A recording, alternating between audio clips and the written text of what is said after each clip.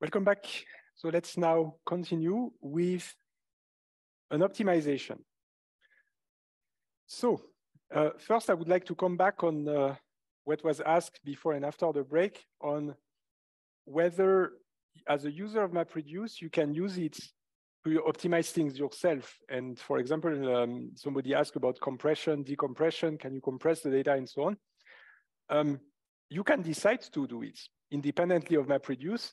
You can decide that you store your data set in a compressed way uh, and then what it means is that whenever you call the map function or the reduce function, every time you decompress everything and then you recompress everything, right? So if you compress by uh, each, each value, this is absolutely something you can do. Um, even though there actually exists systems, and I think it might include some implementations of MapReduce and even Spark that we'd look at later, that automatically do the compression decompression for you. You can actually ask them to use some compression algorithm and they will automatically compress and decompress. So some of them can actually absolutely do it. But you are free, since as a user, you can put whatever you want in the map function and whatever you want in the reduce function, then you're absolutely free to do anything you want with the data.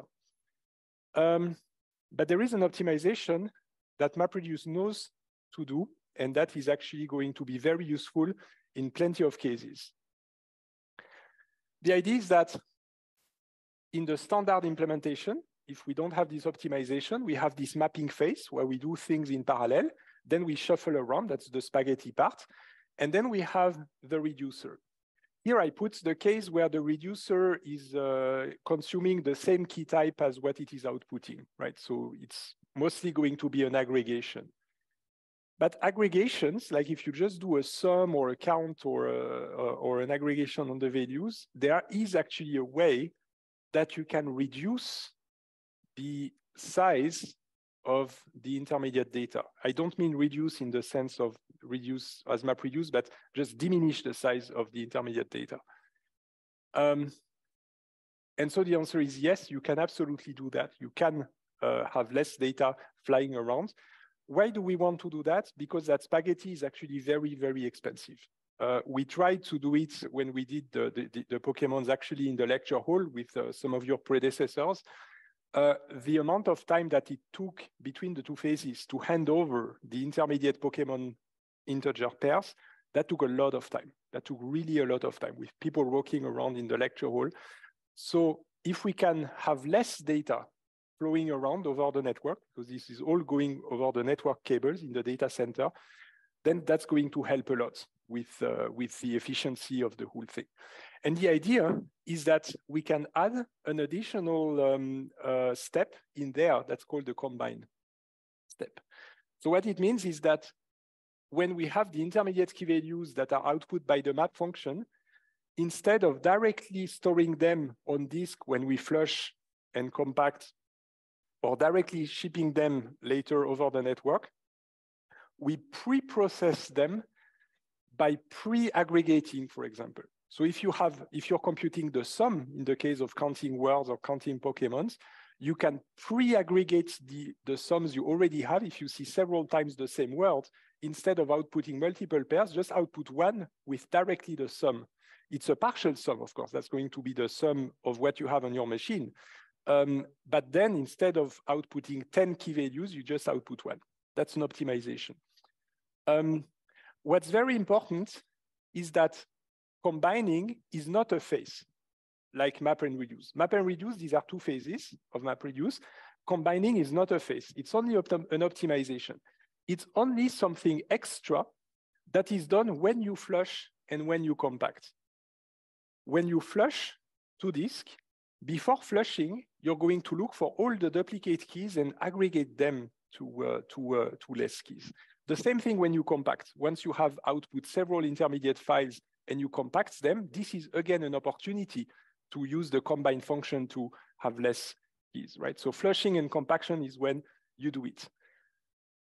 But there is a consequence of that because when do we flush and when do we compact? Well, typically we flush when memory is full. Can you predict when memory is going to be full? No, of course not. It's just going to be full and there's no way you can know in advance. That means that the usage of the combined function is totally unpredictable. there is absolutely no guarantee if and when that function is going to be called. It's whenever we flush or whenever we compact, we can call it, no guarantee whatsoever. So we cannot rely on anything. Maybe it's not even going to be called at all. Maybe it's going to be called plenty of times.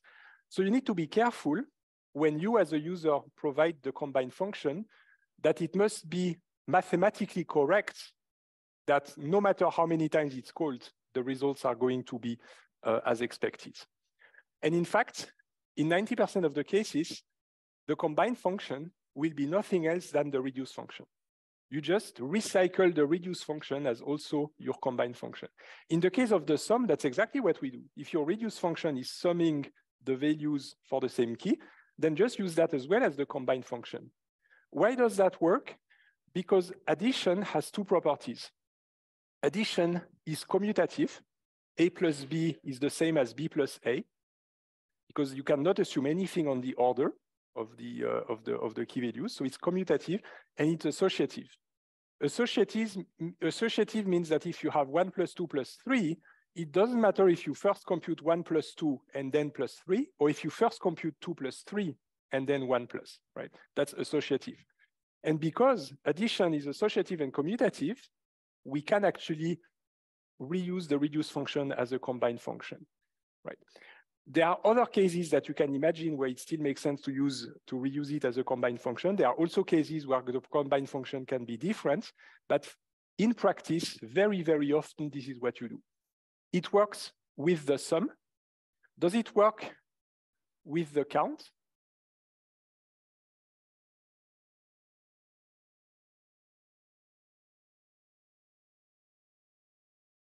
Can you reduce? Can you reuse the same one?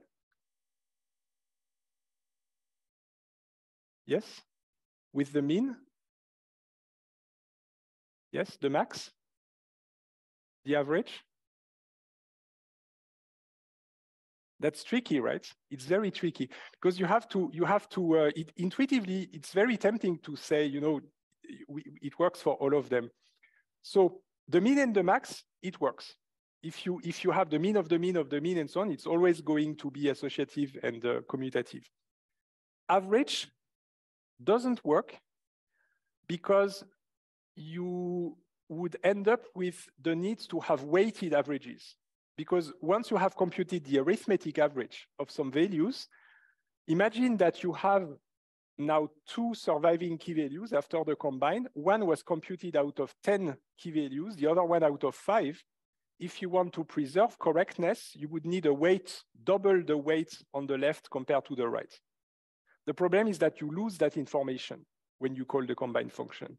So this is why the for the average, it doesn't work. So you, you have to be careful that if you have an average computation in the reduce function, you cannot just uh, use it as the combine function.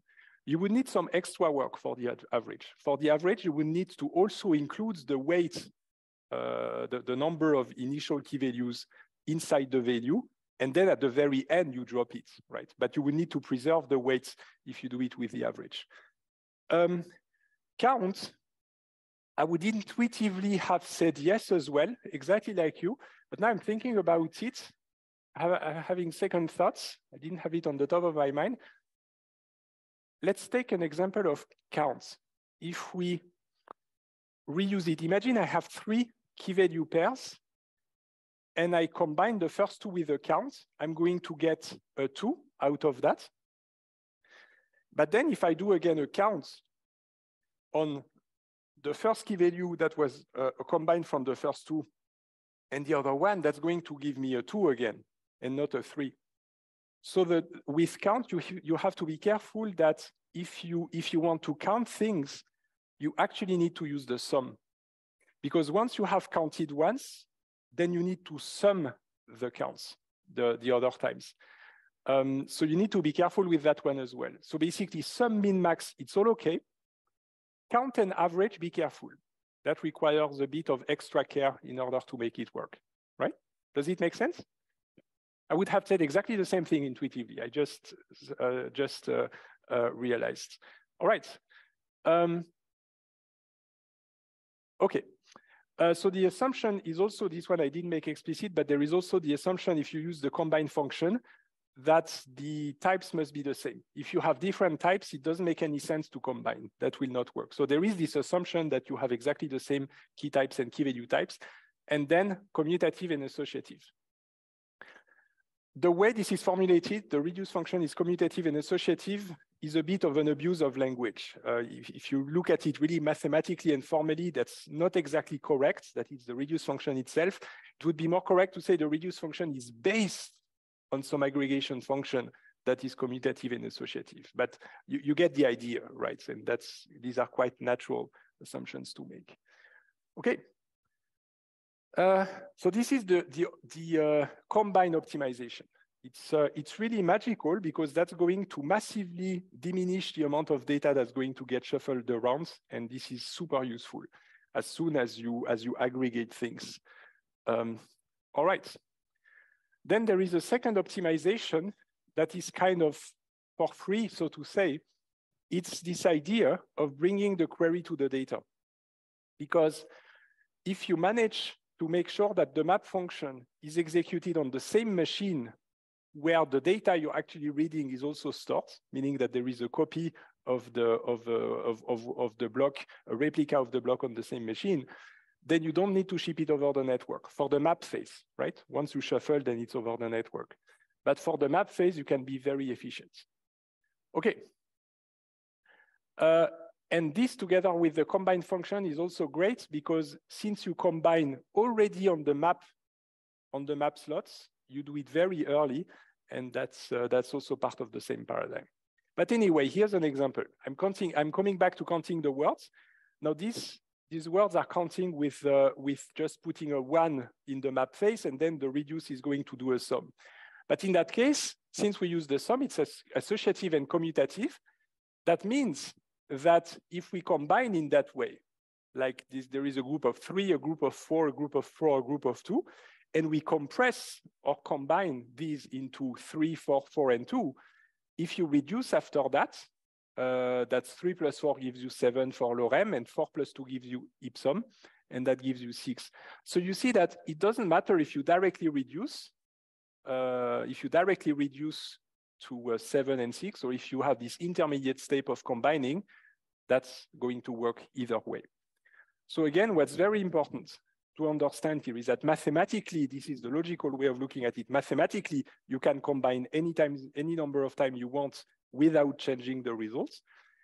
Physically, what's happening is that this is part of the map phase. This is on the original machines, and this is what's going to get shuffled around. This is on the other side. This is in the reduce phase at the end. All right? For whom is that clear? And who understands intuitively that for some max and min, you can do that? All right, very good. So this is, this is the uh, combine. Now, how do we use MapReduce as a user? There's plenty of ways. Um, first, you can do it uh, in plenty of languages. The natural language would be Java because that's the, the, the how uh, HDFS and, uh, and uh, um, uh, MapReduce are natively implemented, right? Um, but if you don't like Java or you, you, want to use another language, that's entirely possible. For example, a lot of people like using Python. Um, it's also uh, easy to do, but uh, it's a different paradigm. So I'm going to show you Java quickly. I'm going to say a few words about how to do it in Python. That's called the streaming um, API. Um, don't be scared. You don't need to know Java. This is just so, so you see what it looks like. Who already knows a bit of Java? Some of you, okay. So this is just to give you a taste of what this looks like. So you remember that I told you choosing the map function and the reduce function and the combine function, this is your job as a user, right? You pick the map function, the reduce function, and you put whatever you want in there. Concretely, it means you can program it. So you can create a map function here that just does whatever you want to do because that's a program. So you can have a, whatever you want to do. And the way you output the intermediate data, because it's the map function, is this context write call. And then you can call context write as many times as you want. And every time you call it, it's just going to spit a key value as intermediate data. If you call it once, there's going to be one key value created. If you don't call it at all, then nothing. And if you call it multiple times, then as many key values. Okay. Now you see, don't be scared, right? I'm going to say a few words. What does this map function take? You see that it takes a key and a value, right? Because I said this map function is called for every input key value. So every time you call it, you pass the key and you pass the value. The, the context is just for knowing where to write the outputs to. These, don't worry too much. These are just some types. For example, that could be integer, that could be string, and so on. So don't worry about that. Right. Okay. Then the reduce function, it's exactly the same thing. You also implement it as, as the user of uh, MapReduce. But there is a difference between the map and the reduce function because remember that the reduce function must be called for every uh, group of key values that has the same key. And it must be all of the key values with that key. So that means that when you call the reduce function, you just don't have a key and a value. You have a key, of course, that's the key of the group, but you have all the values associated with the key. And in Java, they just call it an iterable because you can iterate through all of the values, but that's the idea, right? And then you output back to the context, all right? And then what you do at the end is that you, when you uh, want to launch your job, your MapReduce job, you're basically going to uh, say, this is my mapper class. So the, my own mapper would be the one you define here. Then this is my reducer, right? That would be the one you define here. And then you say, okay, my input is there. So you add an input path to uh, HDFS, S3, uh, blob storage, and so on. Then you say where you want your output to be. Do you want it in that directory on HDFS? Do you want it in that directory on S3? Doesn't matter, you just say that. And then you launch the job with that uh, magical formula here. But you wait for the compression, for the completion, and then it's going to be there. All right. Um, and if you want a combiner, if you want to reuse the reducer as a combiner, you just say it as well by setting the combiner class. Okay, I'm done scaring you with that because I know a lot of you don't know Java. Um, Python is fine too. Um, the way it's done in Python uh, is a little bit different because um, you would need to write a Python file for the map function and a Python file for the reduce function. It's like a script. So it's a Python script for the map function and a Python script for the reduce function. What's going to happen is that this script must consume lines of text that come from, uh, from the, the, the, what's called the standard input and must output back uh, the, the, the, intermediate, if it's the map script, must output them back to the standard output. Who knows what I mean here? Who knows what the standard input and standard output is? Maybe not a lot of you, right? Because this is, uh, you're not computer scientists. Um, who knows what a command line, have you, have you already used a command line? I assume so, right? A terminal, right? Then you, you type things and then something comes out. Well, when you are in terminal and you execute some program on the terminal, um, you can give inputs to the script by writing things on the keyboard, right? This is called the standard input. And so what happens is that you can write scripts that are meant to be used in the terminal that will consume from the standard input. And then you do whatever you want with them. The standard output is the opposite. It's when you have a script that writes to the screen. This is called the standard output. So if you have a script that, uh, for example, cat is an example, cat is a command that writes to the screen the contents of a file. What it does is that it just reads the file from disk and writes to the standard output the line of the file. And concretely, it means you see them on your screen.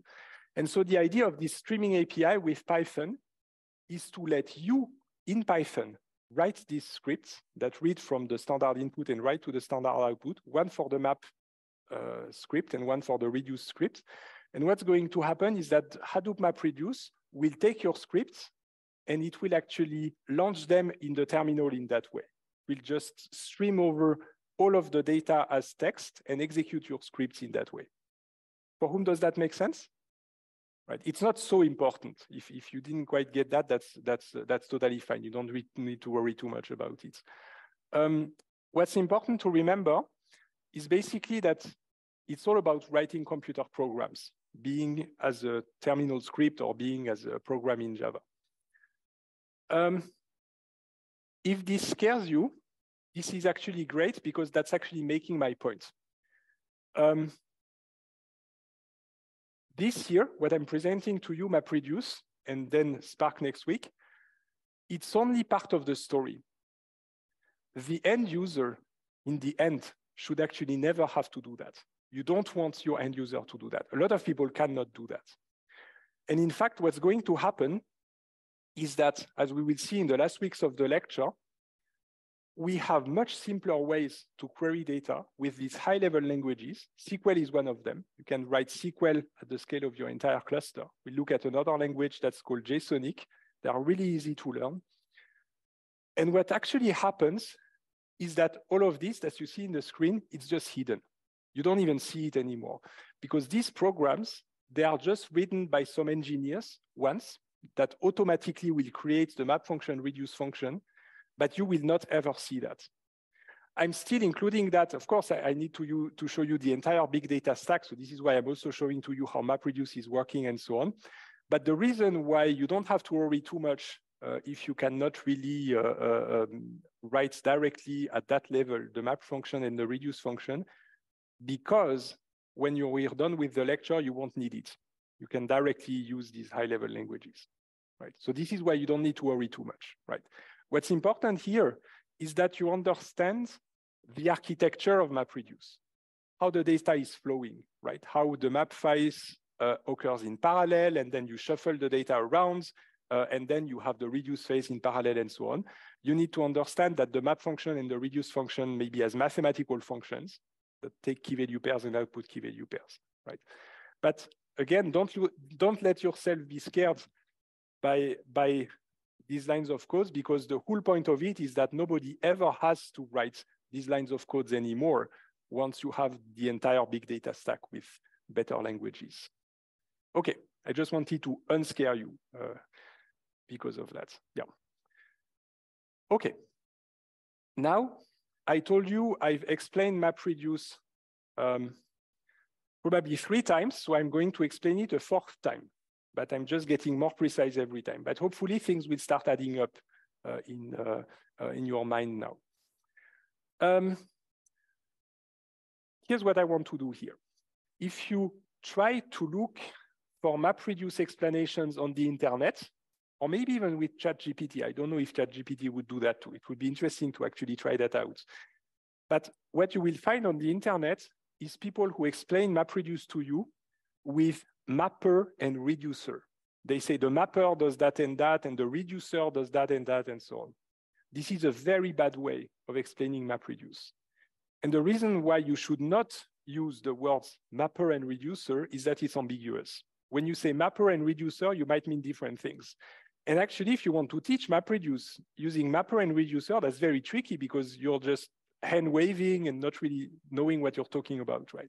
So instead, of saying mapper and reducer, we will say map task, map slot, map function, reduce task, reduce slot, reduce function, combine function, map phase, reduce phase. We're going to be super precise. And you will see that with that level of precision, you should have a clear mind on what MapReduce is actually doing. So again, my goal is to tell you, do not ever say mapper reducer, just always be very specific on what you mean. So again, I added a slide for that. You can try, I'd be curious if ChatGPT also uses mapper and reducer when it explains that. If it does, that's bad. Okay, so if you ever see mapper and reducer, try to think, okay, do they mean the task? Do they mean the slot? Do they mean the function? So you can just try to figure it out. Okay, so I'm going to go through each one of them. What is the map function? Well, a function is a mathematical thing. A function is some black box that takes input and gives you output, right? f of x, right? So a function that adds one, f of two is three, for example. So this is a function. So it's a mathematical function, the map function, that takes a key value pair and outputs zero, one, or more key value pairs. That's what a function is, right? A reduce function, that's the same thing, except that instead of taking one key value pair, the reduce function takes several key value pairs, but with the constraint that these key value pairs must have the same key. That's the reduce function. And the reduce function outputs zero, one, or more uh, key value pairs. So this is the map function, this is the reduce function. this is a mathematical thing or a programmatic thing, if you consider that this is a computer program to implement the mathematical function. For whom is that clear? Map function, reduce function? Okay, it's just like this f in mathematics. Okay, this is a function. Okay, the combine function, that's also a function, and again, very similar to the reduce function actually, that takes key value pairs and outputs a key value.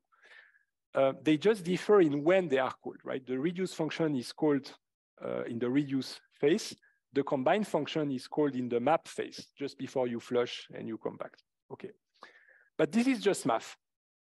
This is just math that transforms key values into key values. So that's map function, reduce function, combine function. Now, let's look at a map task. What is a map task? A map, map task is like an assignment or homework. It's something that you need to do. Um, so a map task is just the assignments that you have to call the map function once for every key value pair that you're receiving. So here I have three value, three key value pairs, key one, key two, key three. And my map task consists in calling the map function three times, once for each key. And out of these calls, I'm going to get key values, course, whatever, zero, one or more for every call. And then I get uh, uh, some, some output sequence of key values that is the output of my map task right? So a map task uh, consists in sequentially calling the map function on key values. There is nothing in parallel here, nothing in parallel. Sequentially, I first call it on key one, get the three values, then I call it on key two, get values, then I call it on key three, get values. That's my map task. For whom is that clear? Okay. The reduce task looks similar. It's also a sequential series of calls of the reduce function. First, I call it on a group of key values that have key, key one, and I get zero, one or more key values, in that case one. Then I call it, after that, I call it on another group of key values, this time with key two. Then I get zero, one or more key values. And then I call it a third time, this one, this one on key values with key, key three. And then I obtain another zero, one or more key values. This is also sequential. There is no parallelism in there, right? So if you have a map task or a reduce task, it's just a series sequentially you're calling one after the other, the map function or the reduce function on some provided input. This is the map task and the reduce task. There is no such thing as a combined task. That doesn't exist. There's only a combined function, but there is no combined task. That doesn't make any sense. Okay. So here it's already tricky because when people say mapper, sometimes they mean this. When they say mapper, they mean the map function. But sometimes when people say mapper, they actually mean the map task. Right. So this is why you need to ask yourself, which, what do they actually mean with mapper? But if you say map function and map task, then it's clear what you mean. Okay. Now, this is how it relates to the combined function. Basically, when you have a map task, which is a sequential, uh, sequentially calling the map function. You also call the combine function at the end, right, by, uh, by combining these values. All right. Okay, now map slot. So map function, map task, map slot. What is a map slot? Um, a map slot you should think of as hardware. You know that in a computer, the computations are done with a CPU, right? It means central processing unit. This is the brain of your computer. So in the very old computers, the CPUs could only do one thing at a time, sequentially. Um, you could simulate that you were doing several things, but it was in fact just taking turns uh, between the, all the things you're doing. In the more modern computer architectures, you might have heard of four cores, eight cores. You know that, right? When you buy a laptop, they will tell you how many cores it has. It's as if your computer had multiple brains. It's actually able to, able to do several things at the same time, once per core. Well, if you look at a map slot, you should think of it as one core of your machine. It's a slot, it's, it's a brain that's ready to take over the task. So what does a map slot do as a CPU core? It takes care of map tasks. This is what it does.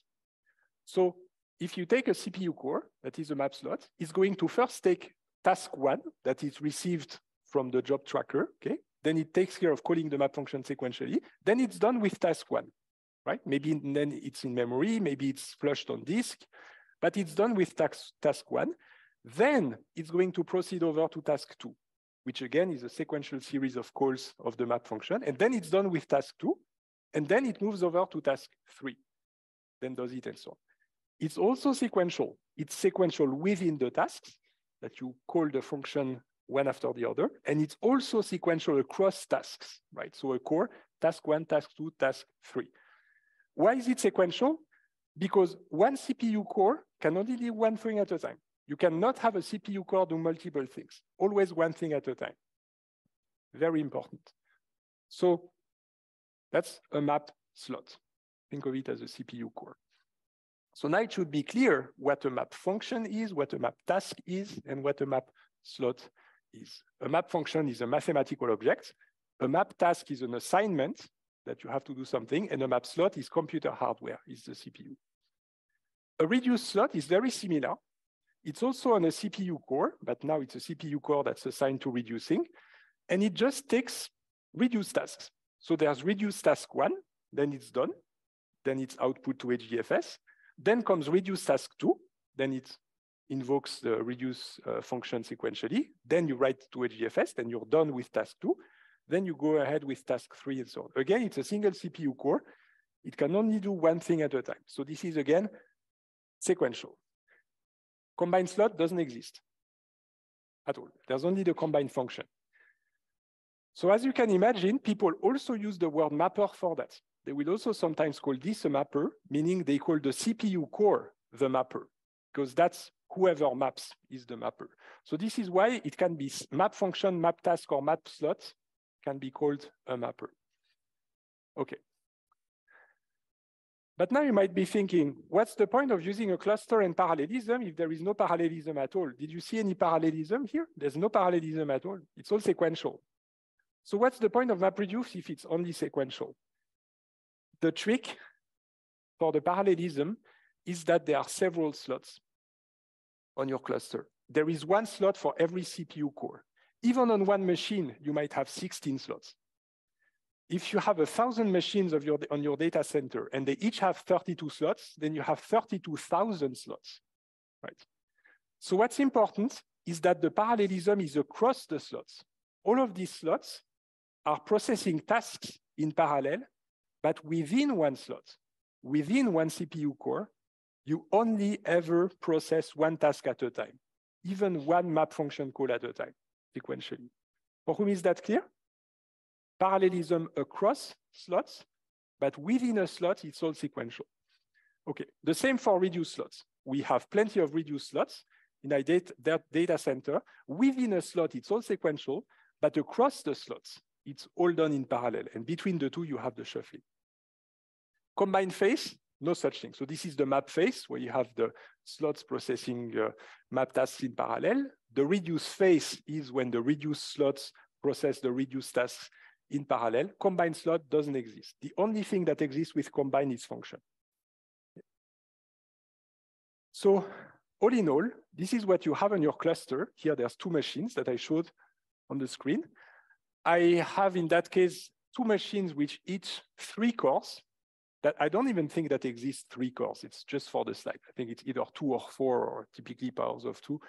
Um, anyway, so here I have three CPUs on the machine on the left and three CPUs on the machine on the right. So I have six slots and the slots are each processing tasks sequentially and within a task, you call a function sequentially. In that case, that's both true for map and reduce. Why I just wrote slot, task, and function call. That's pretty much it. If you understand this, then you understand how things are actually going on. And in practice, you're going to assign some of the slots to map and some of the slots to reduce in a natural way. Okay. For whom is that clear? All right, so now hopefully things should start to get clearer and clearer uh, as to how MapReduce is working. If that's not enough, let me explain it a fifth time, this time with postcards. So you go on vacation with your friends and you need to write plenty of postcards to even more friends. So let's say you have, uh, this is all the people you're in vacation with. What you are going to do is you have 50 postcards to send. So you're going to split it into five tasks, right? Five tasks. Every task consists in writing 10 postcards, right? So you say, okay, the split one, task one. So what's the difference between task and split? Task is the assignment of writing the postcard. Split is only when you partition the data. That's the name of the, of the split. So the split would be one to 10, the second split 11 to 20, and so on. And the task you would be the task to write the postcards to friends one to friends 10. Okay. Uh, but there is one task for one split. That's a one-to-one -one mapping. Okay, so you have five assignments, five tasks, uh, and then you need to spread them uh, over the people. But you might have noticed there's five tasks and there's three people here, uh, even though one of them has some extra help. Um, okay, so since you have the splits, which are postcards one to 10 zone, then you have the tasks that correspond to it, which is writing on the postcards. As I said, there's a subtle difference. And what you do is that you start, okay, you sit at a table, but you can you only have three slots in that case, right? So you just take the postcards, which you might have bought from the uh, from the library. So a split is going to be a pile of 10 postcards. And then your first friend is going to write postcards one to 10 at the same time, because you maybe you bought three pens, so you can do it at the same time.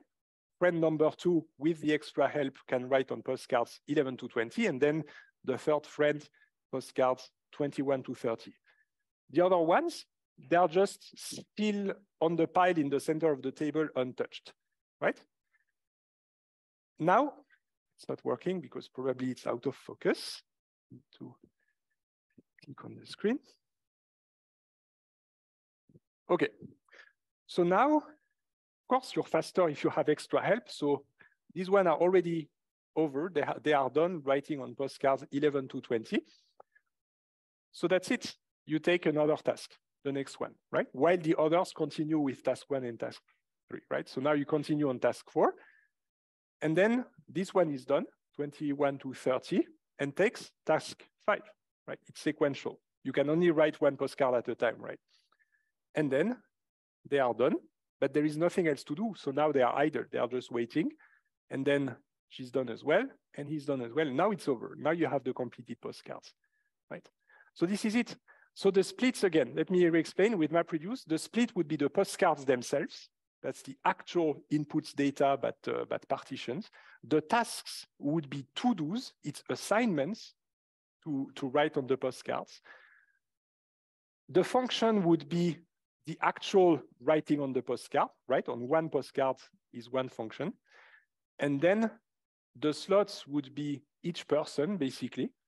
And on each slot, you can handle multiple tasks, one after the other, and then you're done. This is the analogy. And MapReduce works exactly in the same way, except that instead of people, you have CPU cores, and instead of the postcards, you have data. That's pretty much it. For whom is that clear? All right, very good. So now a tricky point. Oh, is there a function?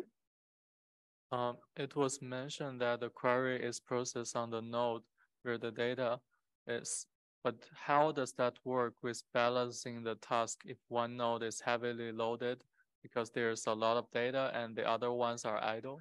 Ah, that's a good question. So indeed, this is about the load balancing. Um, in reality, sometimes you're out of luck. And it might be that you have input data. And let's say you want to filter all of the lines of text that contain the word big data. If you're optimistic, big data is going to be evenly distributed in the input data. So all of the servers, they will more or less output the same number of, uh, of, uh, of key value pairs. But there are cases in which you're out of luck. imagine that you're, you're processing a billion lines, but the lines that contain big data, they're all at the same location. There's plenty of lines without and then some lines with. So what's going to happen is that at some places of the cluster, you're going to have no work at all because there, there, there is nothing to, to do. And some other parts of the cluster, you're going to have a lot of work because this is where all is concentrated. Um, it can be even worse on the reduced side because you might have groups of key values where you have very few key, key values with the same key, and then suddenly you have a million key values with the same key. That means that there is going to be a reduced slot that's going to be completely overloaded with a lot of things to do, and then uh, some others that will not be overloaded. This can be partially compensated by the fact that the way this works is that as soon as you're done with a task, you take another task. Whoever is slower just gets less tasks. Whoever is faster gets more tasks. So that helps a little bit to, to fight against this problem. But not completely, and you might still end up with situations where the load is not balanced evenly, and then it's up to you as a user to actually take care of that, right? But of course, if you have a high level language, then you don't need to take care of that because somebody did it for you, right? But if you're directly a user of MapReduce, then you need to take care of that. Did I answer your question? Yeah, awesome. So again, the key part of the answer is whoever is slower gets less tasks, whoever is faster gets more tasks. This is the key, right? If you're super fast, you're going to get 100 tasks if you want. If you're super slow, you only get one. Okay. All right, now there's a tricky point. Uh, and uh, nobody asked, but I told you at some point roughly. I said a block is roughly a split. That's because there is a tiny little difference between the two. So remember that we have tasks that can be map tasks or reduced tasks that corresponds to the split. We have one map task for every split. So now you know that every one of these boxes is called a task now. Uh, and uh, on the top, you have the splits. Every split corresponds to one task. So the task of calling the map function on every key value in the split. Okay. Now, very roughly, we say, okay, a split is an HDFS block, 128 megabytes. Here's the problem. An HDFS block is an exact number of bits. It's 128 megabytes. And then you cut and that's it. But the splits in MapReduce, they are not defined on bits. They are defined on key values. We also call them records, the key values. But they are corresponding to key values. So when you have a MapReduce split, the split ends at the end of a key value. You cannot cut a key value in two. You cannot do that. So the split has to end between two key values.